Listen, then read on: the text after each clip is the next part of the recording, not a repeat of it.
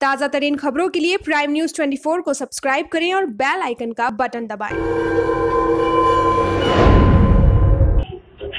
नमस्कार, आप देख रहे हैं प्राइम न्यूज़ 24 मैं हूँ कृतिका। ब्रेकिंग न्यूज़ उन्नाव से। गले में कपड़ा कसा होने की सूचना। सूचना पर पहुँची पुलिस।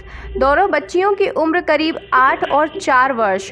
पुलिस अधीक्षक विक्रांत वीर भी पहुँचे घटनास्थल पर। कुछ देर में पहुँच रही फॉरेंसिक टीम गले में कपड़ा कसा होने की वजह से हत्या की आशंका। पारिवारिक विवाद में हत्या के लगाए जा रहे कयास। पुलिस पति और देवर को हिरासत में लेकर कर रही पूछताछ। प्राइम न्यूज़ 24 के लिए अनिल कुमार की रिपोर्ट। जनपद उन्नाव का थाना और आज का गाँव पूरनखेड़ा है। यहाँ सुबह सूचना मिली थी कि एक महिला जिनकी उम्र लगभग पैंतीस साल है और दो बच्चियाँ, जिनकी उम्र क्रमशः नौ वर्ष और आठ वर्ष है उनका शव यहाँ पे एक सूखे तालाब के बगल में पड़ा हुआ है। और प्रथम दृष्टिया ये तीनों का जो हत्या की गई है, ऐसा लग रहा है कि गला दबाकर किसी कपड़े से घूट कर इनकी हत्या की गई है।